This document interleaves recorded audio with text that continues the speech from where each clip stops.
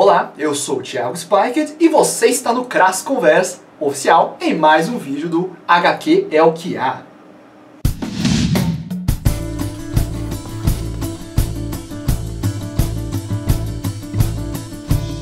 Começamos mais um vídeo e hoje eu vou falar sobre qual tema escolher para sua HQ. Né? É, bom, aqui em particular eu me refiro muito à produção autoral, né? ou seja, a pessoa ter a própria iniciativa de fazer o seu quadrinho. Seria meio que o quadrinho indie. Eu já falei sobre esse termo no é, comparando quadrinhos com os games indie, ou seja, é uma pequena produtora, é um cara sozinho que vai fazer o seu projeto e vai tentar distribuir por canais alternativos de veiculação.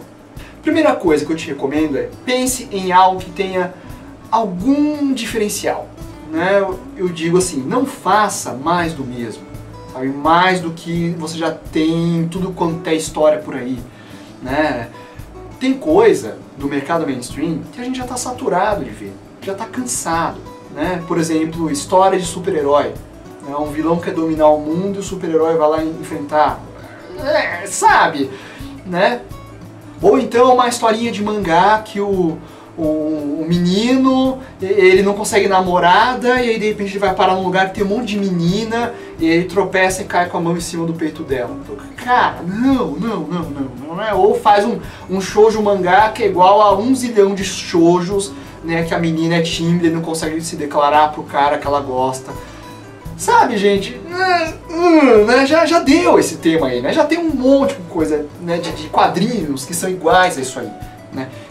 Lembra que a gente está num nicho né, bem alternativo, né? Já são se comparar com o que vende né, no, no geral do, do, mercado editorial, quadrinhos já é uma parcela minúscula. Né? O independente, então, é, é o pedacinho do pedacinho, né? o, o subtreco do subtroço. Então, as pessoas que vão é, é, se interessar por algum quadrinho alternativo, independente, geralmente a proposta precisa chamar a atenção dela. É justamente porque ela já não está mais afim de ver aquilo que é, ela está cansada de ver.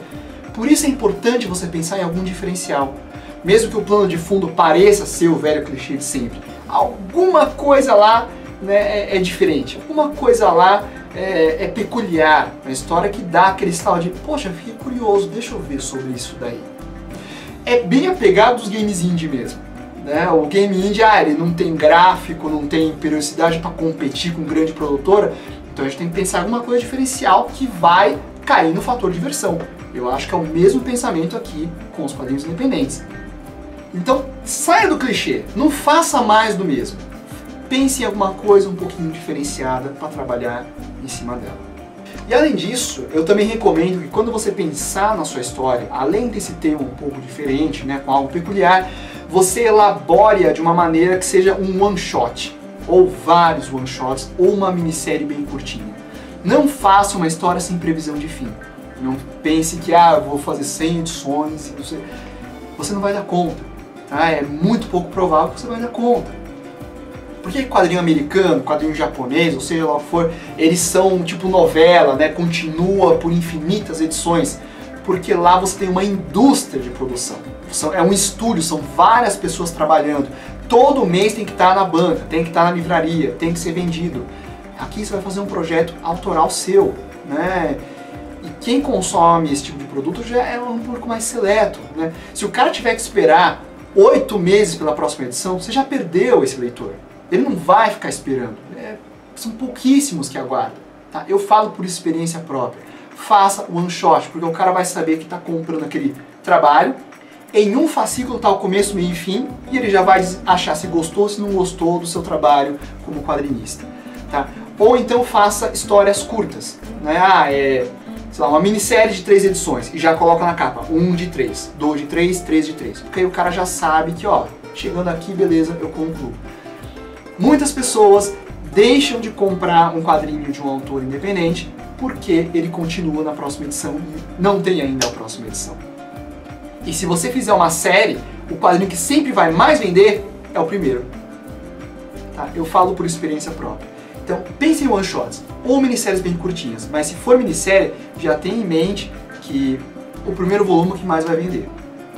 Ou outra coisa que você pode fazer também é bolar um universo e fazer vários one shots com os mesmos personagens dentro desse mesmo universo. Né? Então se o, você lança três quadrinhos e o cara pegar o terceiro sem ler os dois que saíram antes, ele entende a história. Beleza. Mas se ele ler as outras depois, ele vai ver que elas de alguma maneira se complementam. Mas não é indispensável ele ler as anteriores para entender a terceira. Ele não pegou uma novela no meio do caminho. Isso vai permitir que você venda os seus fascículos com mais facilidade e o leitor também vai se sentir mais estimulado a dar uma chance né, e conhecer e adquirir o seu trabalho, certo? Então é isso.